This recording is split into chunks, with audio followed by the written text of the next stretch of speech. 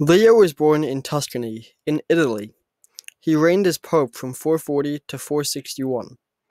At this time, Attila, called the Scourge of God, with his hordes of Huns, invaded Italy.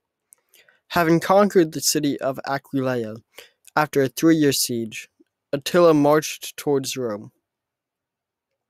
Moved with pity for the suffering people, Leo went out to meet him.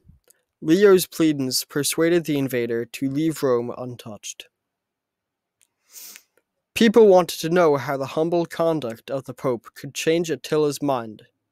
Attila declared that while Leo addressed him, he had become frightened at the sight of a person in priestly robes, who stood nearby with a bared sword, threatening his life should he disobey Leo's commands. Leo was devoted to St. Peter. Later, when Genseric entered Rome, Leo's sanctity and eloquence again saved the city. Seeing the heresies which were attacking the church, Leo called the Council of Chalcedon and condemned them. The council exclaimed, Peter has spoken by the mouth of Leo. The Holy Pontiff built many churches. He left many letters and writings of great historical value. Pope St. Leo is surnamed the Great, a doctor of the Church, died on April 11th, 461.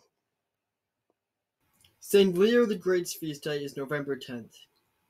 O God, you established your church on the solid rock of St. Peter, and you will never allow the powers of hell to dominate her.